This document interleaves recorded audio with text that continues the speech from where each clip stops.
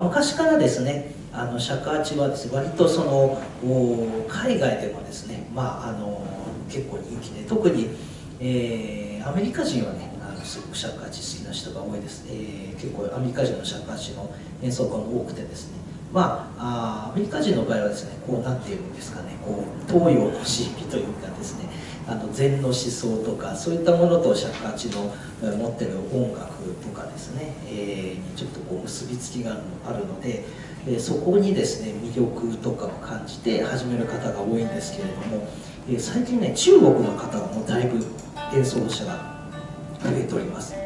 であの中国の場合はその尺八始めるきっかけっていうのはまた、えー、と違いまして、まあ、僕も個人的に何人かあの中国の